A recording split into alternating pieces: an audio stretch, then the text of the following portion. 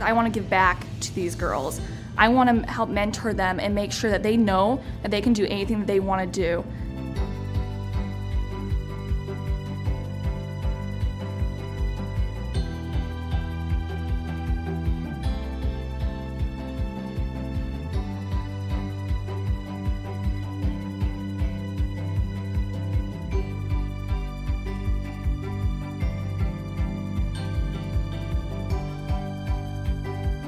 I think that sometimes we get put down for our dreams, and it's really important to um, have these opportunities to learn about other careers and um, things that we can do as women because we can do anything.